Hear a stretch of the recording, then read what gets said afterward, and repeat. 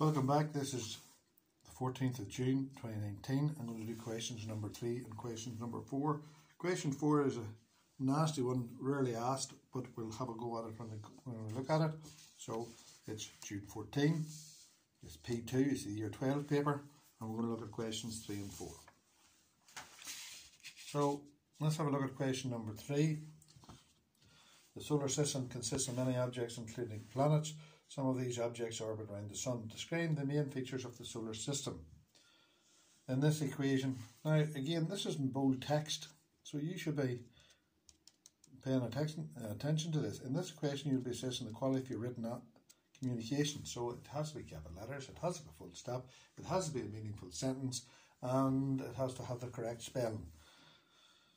There's more or less two marks for this. For that. Marks for that. Your answer should include a list of the planets in order from the Sun. The list of planets. So, so remember, my very evil mother just served us nothing. It's a mnemonic. It should be written on the paper. The list. It has to be a list. So Mercury, Venus, Earth, Mars, Jupiter, Saturn, Uranus, and Neptune. Now we know that these four here are the rocky ones, and we know these are the gas ones. Fair enough. So name one rocky planet. So one rocky planet would be, well, you can take anything you want from uh, Mercury, Earth, Mercury, Venus, Earth, Mars, Mercury, Venus, Earth, Mars. Now I'm not spelling them, but I'm showing you what the, any of those would do, because those are the four rocky ones. One of the gas, so you can go for one of the gas ones, Jupiter, Saturn, Uranus, or Neptune. Make sure you have the spelling right. If you don't know it, put them in the list and learn them. Name a body which orbits a planet other than an artificial satellite. Go for a moon. We have one moon, but there are some other planets that have many moons. The name of the force which provides the orbital motion in the solar system. This is gravity. Gravity makes all other planets orbit around the sun and all satellites orbit around the planet. So we might have done this question a bit quick, but again, the mnemonic is the key and the spelling is the rest. So that's question number three done quite quickly. Now we go to question number four. Question four is about electromagnets. An electromagnet is a magnet that you can turn on or turn off using an electric current. So there is a cell and the most important thing here is to draw in the conventional current. There's it there. And this cell supplies a current around this coil. And this cardboard tube, it could be a cardboard tube, it's just round, won't be a very strong electromagnet, but the best one is steel or iron. Well, steel is very closely related to iron, it's more or less iron with carbon in it. So if you want to make this an electromagnet, remember spit. So steel in there would be a permanent magnet. So you could magnetize that. The trouble is it doesn't demagnetize when you break the circuit. But iron is used as a temporary magnet. Right? So that's remember that. So describe three ways to increase the strength of electromagnet. One, larger current. And now the second one you have to be careful. Just don't use the word more turns. More turns per unit length. More turns per unit length. So if you had 10 turns in 10 centimeters, then you want 20 turns in 10 centimeters, more turns per unit length. So please don't use just more turns. And then the last one is, we're up to here again. Soft iron core. Right, remember if you used steel it would make this a permanent, so you couldn't turn it off. So electromagnet, you have to turn the thing off. So the direction of the current in the coil is reversed. How would you do that? You just simply turn. You want to direct that conventional current around the other way. You just take the battery out, twist it around, to put it in the other way, and that'll turn the current the other way. So tick the correct box to show the direction of what happens. Well, the magnetic field only becomes stronger if you make more current. So that's not happening. And it becomes weaker if you use less current. So the only other option then is that the north and south poles are reversed. So the north and south poles. And look, I put a tick, not an X.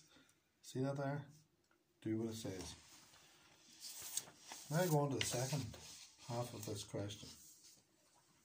The diagram shows a current carrying wrapped around a cardboard tube. Remember earlier on I was talking about the cardboard tube. The cardboard tube's just there so that you can have a former to put the coils on. That's what that's for. So the magnetic field lines are shown. These are lines of flux, right? So we have to find which pole is which. Complete the diagram. Show the north and south poles in the box provided. So let's have a look. So we're going to draw what we see here. First thing we're going to draw in is the conventional current. Right, we know it doesn't exist, not with the tooth fairy and Santa, but we're going to use it to see here. So we're going to, there's the end of that tube.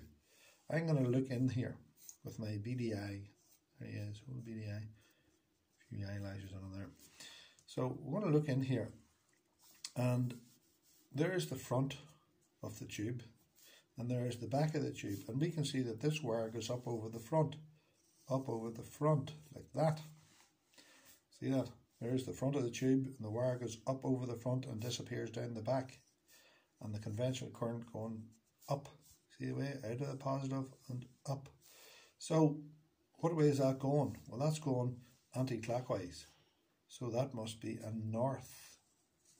So that's a north. Remember anti clockwise means that that is a north. Now, if that's a north, then that has to be a south. But we'll do it anyway because we'll see what the BDI, there's the BDI again, and we'll see what the BDI looks into here. So there's the end of the tube. And now the front is on your left and the back is on your right and it comes up, round and down. And there's your conventional current. Do you see that? It's coming down the back. So if you look into this, there's the back and the coil comes straight down like that and the conventional current is going clockwise. So C L O C K W I. Well, doesn't take a genius to know that. That's the south. So that's the south. So the last one is actually quite a nice question. Indicate with the arrows the direction of the magnetic field at A and B. A magnetic field always points from north to south. So the arrow points from north to south, except inside a solenoid where it points from south to north. It's the direction an isolated north pole would take in that field.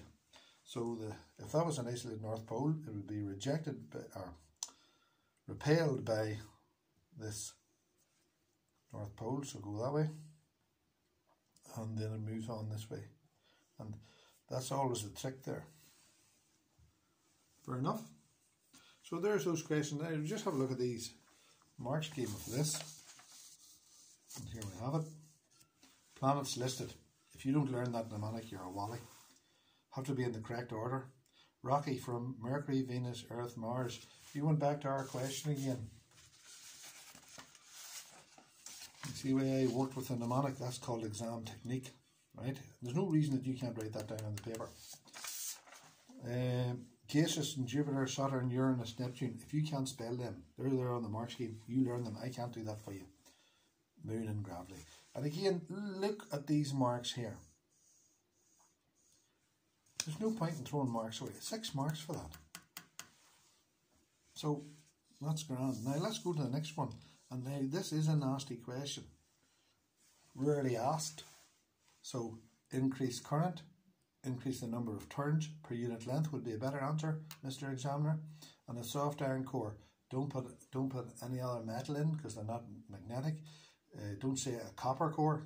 There's very little, if anything. It has to be a soft iron core. If you put in a steel core, you make it a permanent magnet, and then when you turn the current off, the stuff still sticks to it. North and south poles are reversed, so north south becomes north, north, south. North and south poles labelled properly, correct, showing the arrows. And the trick in that one again, getting back to this one. From north to south, except inside a solenoid where it points from south to north. There's those two. There's another two questions. That's questions three and four done. Thanks for listening. I'll be back shortly.